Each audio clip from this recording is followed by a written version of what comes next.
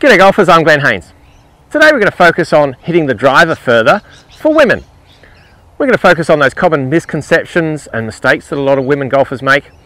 And we won't deny that strength is a factor and is an advantage, but even if you're not very strong, you can still hit the ball a lot further than you do and help you to reach your full potential. We've got our free training guide that's in the description below. You can download that straight to your phone. And these few ideas are really going to help you to drive the ball further. Welcome to Aussie Golf Pros where we help you make the most of your game.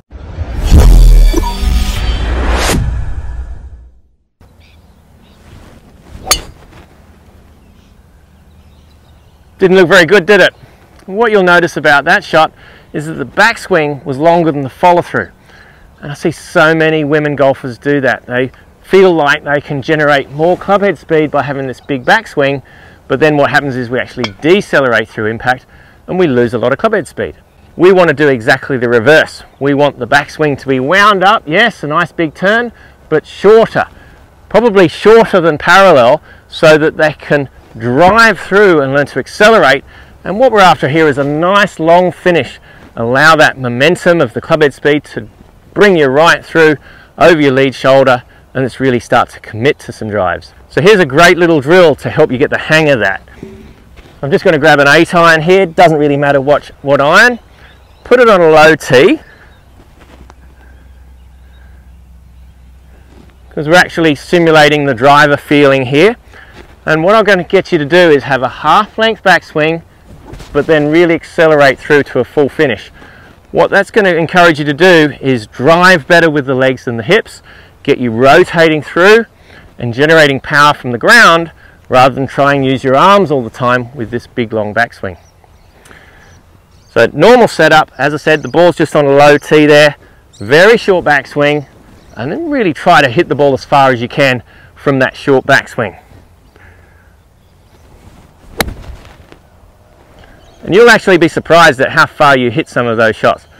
Might even go further than your normal 8 iron.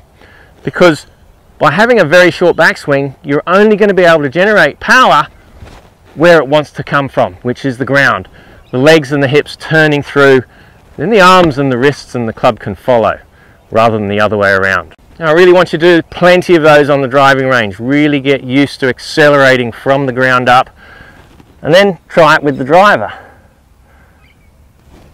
So we're not going to stop quite at half length here. We're going to allow the swing to get a little longer, but we want that same feeling of acceleration and driving the legs and hips. Because what happens with that big long backswing is the only way to start the downswing from there is with the club and the arms. We're not in a position to drive the legs and hips and that's why we lose so much power. So set up position you should be ball opposite your front foot and you should be behind the ball. That's for anybody with the driver. And we're going to go a little bit shorter backswing and then drive through. Let's see what we can achieve here.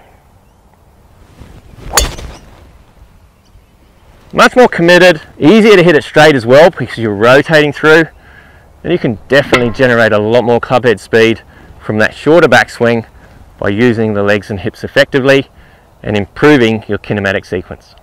I just went to collect those three golf balls and the second drive went 100 yards further than the first with a shorter backswing and better acceleration. You don't need to be strong to hit the ball further, but you do need a better kinematic sequence and to use your legs more after all, they are stronger than your arms, so it makes sense to learn to use that drive. Get stuck into those drills and you will learn how to accelerate better. Thanks so much for watching. There's your free download training guide or in the description below.